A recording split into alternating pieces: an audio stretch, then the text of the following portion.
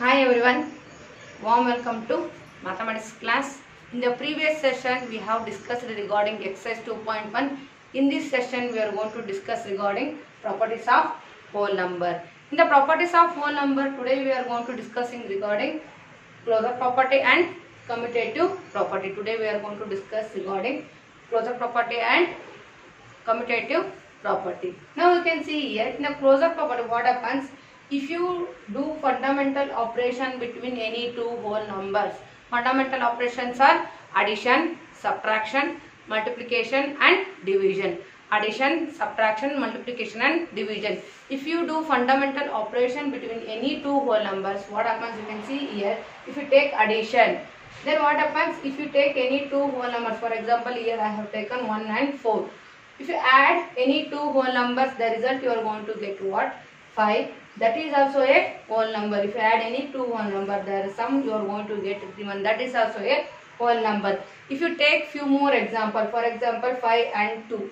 If you add 5, 5 and 2, what you are going to get? You are going to get 7. 5 and 2 are the whole numbers. Even 7 is also a whole number. If you add 0 and 6, what happens? You are going to get 6. 0 is also a whole number.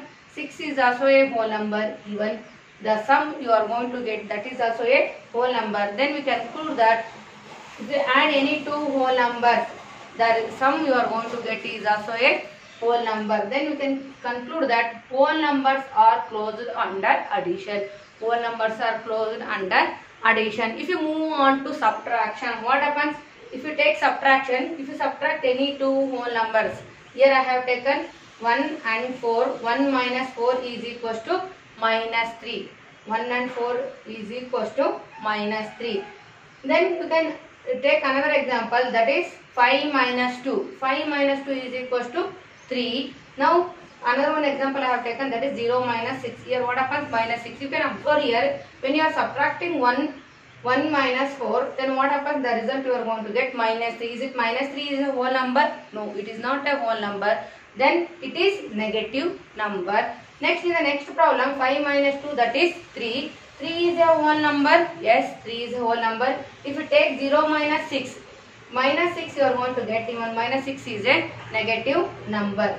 Then what happens here? If you subtract whole number and whole number the result some may time may get whole number or sometime may not get. So we can conclude that whole numbers are not closed under subtraction. Next we move on to multiplication you can see here in the multiplication what happens if you take 1 into 4 if you take 1 4 the 4 not only this number you can take any numbers and you can cross verify. Now you can see here 1 4 the 4 5 2 the 10 0 6 0 into 6 are 0 any number multiplied with 0 means your the product you are going to get is what? 0 only. Now here also if you, multiply any two whole numbers uh, not only a two any two or more whole numbers the result the product you are going to get is also a whole number. Then we can conclude that whole numbers are closed under multiplication.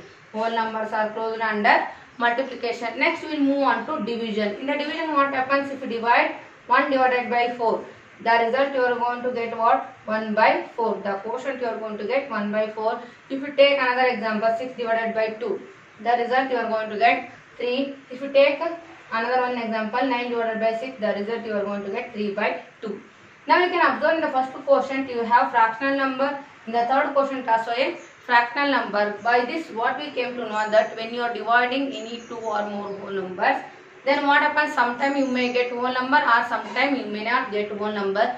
So therefore we can say that whole numbers are not closed under division. Whole numbers are not closed under division. So overall what we came to know that whole numbers are closed under addition and multiplication. It doesn't close under subtraction and division. In the same way we move on to commutative property. Commutative property you can see here. Here also here what happens? If you take any whole numbers and if you add in any order the result get equal or not we have to verify for example if you go through addition now you can see here in the LHS side I have taken 2 plus 5 I have taken 2 plus 5 the same number I am going to change the order and I have taken in the RHS now you can see here here I have taken 5 plus 2 In the LHS side I have taken 2 plus 5. In the RHS side I have taken 5 plus 2. Then what happens here? 2 plus 5 is equals to 7. 5 plus 2 is equals to 7.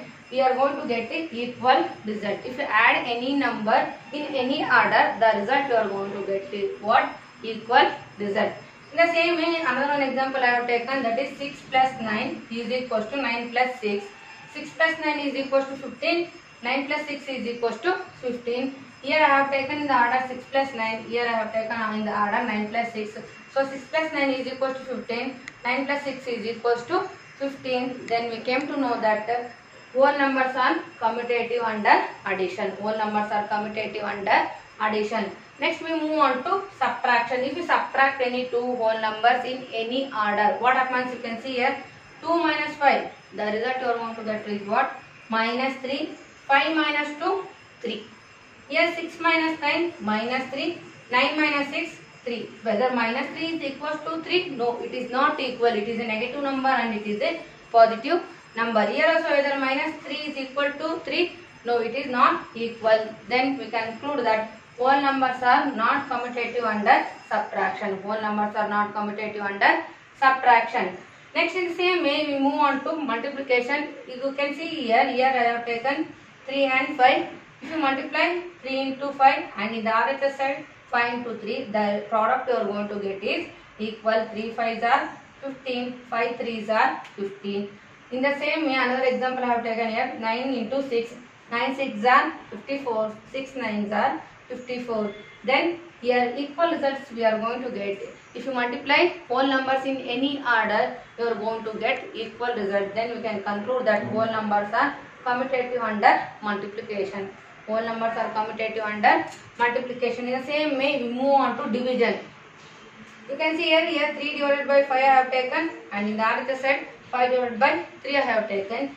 In the LHS 3 by 5, in the RHS 5 by 3. Whether 3 by 5 is equals to 5 by 3? No, it is not equal. Then in the same way 4 divided by 2 is equals to 2 divided by 4. 4 divided by 2 is equals to 2. 2 divided by 4 is equals to 2 by 4. Here result are not equal. Then we came to know that whole numbers are not commutative under division. By overall what we came to know that whole numbers are commutative under addition and multiplication. It doesn't commutative under subtraction and division.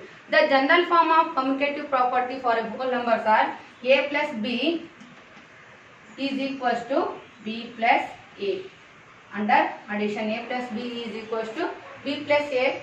Under addition a into b a into b is equals to b into a under multiplication. a into b is equals to b into a under multiplication. I hope you have understood about closure property and commutative property. In the next section, I am going to explain about associative property and distributive property. Thank you, children.